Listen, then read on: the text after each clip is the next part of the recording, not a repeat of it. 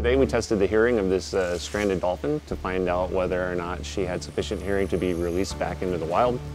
Uh, we use auditory evoked potential methods, uh, which is a, a, method that was developed uh, many years ago but uh, made portable uh, by the National Marine Mammal Foundation and the Navy Marine Mammal Program.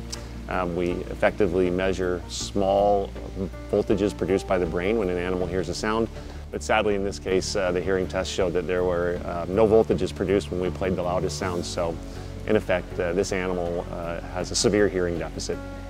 Well, if we test a stranded animal and it has a severe hearing deficit or you know is effectively deaf, they can't echolocate. Um, these animals must echolocate in the wild to be able to catch food. Uh, so this animal would be considered non-releasable based upon the fact that it is unable to echolocate due to the deafness. Uh, the rough-toothed dolphins uh, are probably the species where we see the highest prevalence of, of hearing deficits. Um, of the number of animals we've tested over the years, all of them have had severe hearing deficits except one. Well, we, have been doing this now for almost 20 years, uh, and we actually learned a lot about hearing in these uh, dolphins and porpoises. Over that time, we know that they have age-related hearing loss. We know that there are other things that can cause hearing loss, noise exposure, disease.